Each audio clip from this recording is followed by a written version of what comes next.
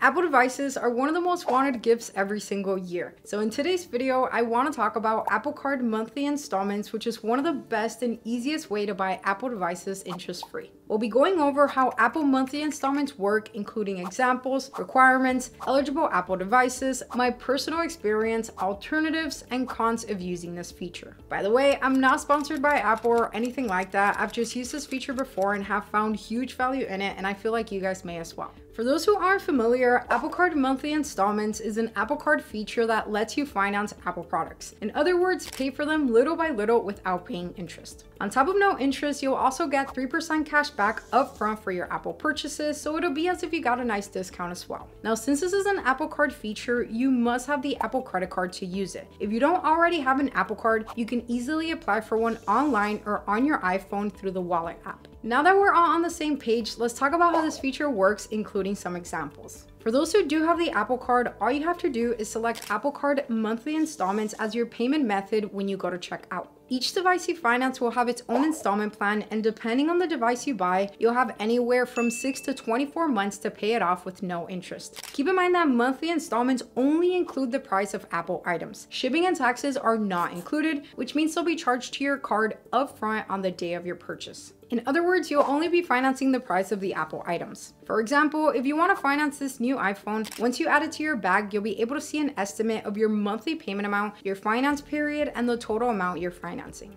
In this case, they're giving you 24 months to pay 829, which is $34.54 per month and you'll only need to pay $58.03 in shipping and taxes upfront, the rest will be financed. Now please keep in mind that this is only an estimate, the actual monthly installment amount will be shown when you check out. Now there are some requirements to use this feature. One, you must have an Apple Card, obviously. For those who aren't familiar, the Apple Card is an all-metal credit card with no fees that offers unlimited daily cash back, like 3% on everything you buy from Apple, 3% when you make purchases at select merchants, 2% on all purchases when you pay with Apple Pay, and 1% on all purchases when you use a physical Apple credit card to pay. To learn more about it, feel free to watch this video next. Two, your Apple Card's credit limit needs to be high enough to cover your full purchase. That's because your full purchase amount will be subtracted from your Apple Card's credit limit and each item you finance will then be charged to your Apple Card monthly. For example, if you want to buy this iPhone, you'll need a credit limit of about 888 in order to cover this purchase and be able to finance it. And the same rule applies to any other Apple product you want to finance. The good news is that if you're in a situation where your credit limit is too low, you may be able to ask for a credit limit increase on your Apple Card with only a soft pull. So to learn more about that, feel free to watch this other video next. Now monthly installments are billed on the last day of each month, but you can always make extra payments if you like as long as you've paid the minimum balance on your Apple credit card. Personally, I like to make extra payments because I don't like to owe a lot on my cards, but that's just me.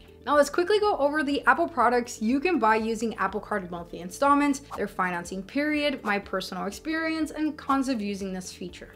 As you can see on the screen, you can finance iPhones or Apple Watches for 24 months, iPads, Macs, and displays for 12 months, Apple TV, AirPods, and Beats for 6 months, and Apple accessories for 12 months. So you can pretty much finance almost every Apple product you can think of interest-free. Now personally, I've bought three Apple devices using this feature, two AirPods and a Mac. For the AirPods, they gave me six months to pay them off. The first pair cost $159, so $26.50 per month, and the second pair was $129, so $21.50 every month. And for the Mac, they gave me 12 months to pay off $12.99, which was $108.25 per month. So overall, I've had nothing but a great experience using this feature, and I honestly have zero complaints about it so far.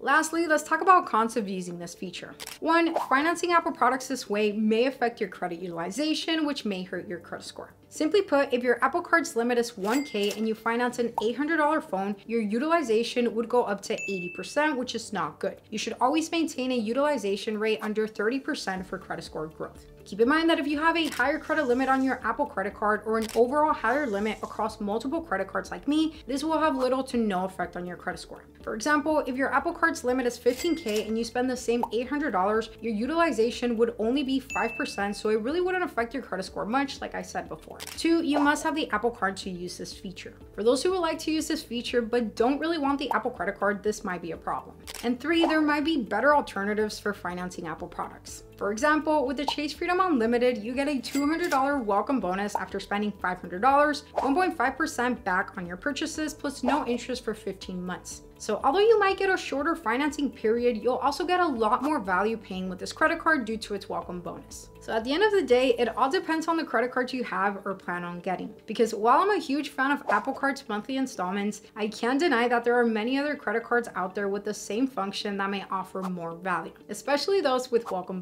bonuses. So overall, if you have or plan on getting the Apple credit card, Apple monthly installments is a great tool, especially if you don't want to pay for Apple products up front and would rather finance them and earn cash back. Last thing I want to say is don't finance anything you can't afford to pay back. Only use this tool if you can afford the payments, never the other way around.